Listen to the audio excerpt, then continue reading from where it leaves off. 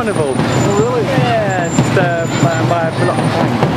By, by M'Lop Tapang, the uh, half century. Yeah, annual event, three-day event. With, uh, ends up at the uh, vocational training centre around the corner.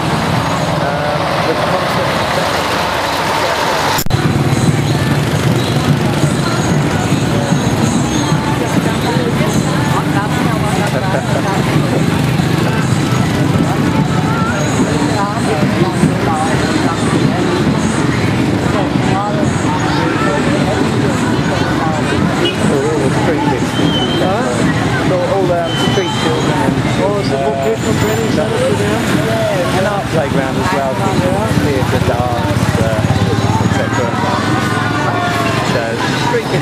probably tricky, but of families, etc.